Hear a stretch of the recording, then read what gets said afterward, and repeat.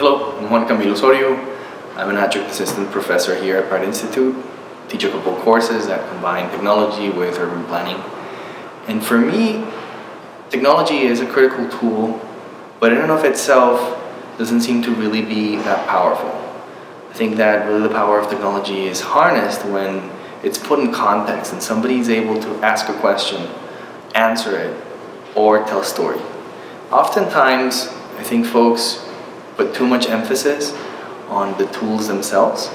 And for me, the role of the urban planner is really to think about how to take these tools, make them accessible, and walk with folks that really want to help um, answer a question or contribute to an ongoing story and really propel the resources available to make that as meaningful and as compelling as possible.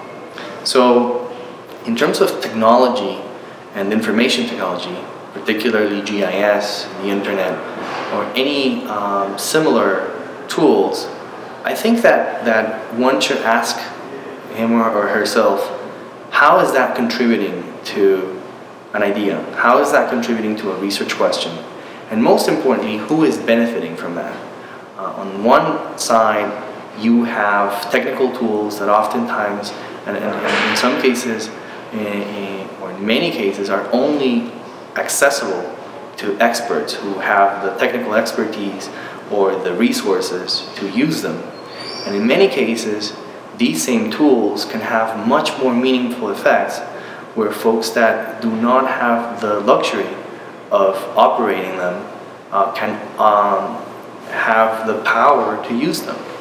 And so I want to just kind of like finish my answer to your question with another question, which is what is the role of urban planners in facilitating that access and making sure that we keep improving those tools to expand uh, opportunities for those who you know have the same questions and but oftentimes do not have the resources or tools to address them.